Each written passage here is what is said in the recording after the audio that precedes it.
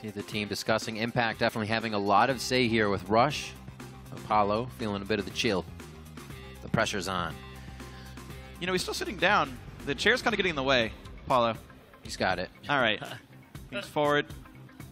Those mechanics. Oh, Yeah. still trying. Oh, get the arm. Can't find my arm. Ah! Oh, will he get it before the lock-in comes in? Ah! Yay!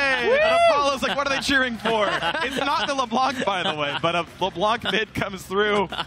Assassin mid lane. Apollo